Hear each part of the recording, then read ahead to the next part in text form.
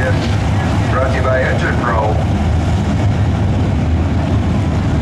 And I can see uh, some pro stocks getting lined up down the staging area, so they got the call down there for that big feature event brought to you by Wellman and Son Machine Shop over in Fedway.